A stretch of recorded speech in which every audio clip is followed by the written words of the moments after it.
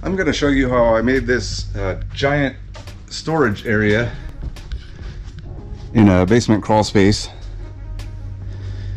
And here we go. And I'm going to build some 2x4 and plywood walls at the backside to sort of block it off